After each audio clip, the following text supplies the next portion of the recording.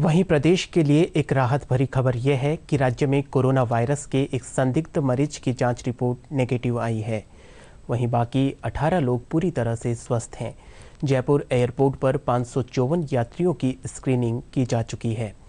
स्वास्थ्य राज्य मंत्री डॉक्टर सुभाष गर्ग ने इस पर खुशी ज़ाहिर करते हुए कहा कि राज्य सरकार के स्वास्थ्य विभाग इस मामले को लेकर पूरी तरह गंभीर और मुस्तैद है। और मैं समझता हूँ पूरी एडवाइजरी गवर्नमेंट ऑफ़ इंडिया ने भी, राजस्थान सरकार के हमारे विभाग ने भी जारी कर दी है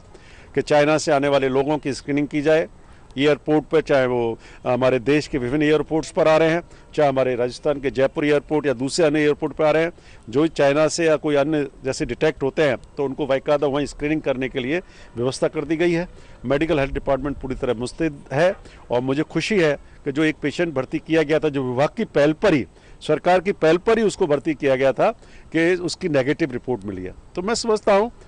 हैवॉक की ज़रूरत नहीं है केवल प्रिकॉशनरी मेज़रमेंट पूरी सरकार ने ले रखे कि चाइना में ये सब फैला है तो हमारे लोग चाइना जाने से अभी बचे और जो हमारे स्टूडेंट्स वहाँ स्टडी कर रहे हैं, उनको भी मैं आज ही देखा कि पूरा, उनका भी पूरा भारत सरकार जो है, पूरा एहतियात बरत रही है कि उनको किसी तरह की कठिनाई ना हो।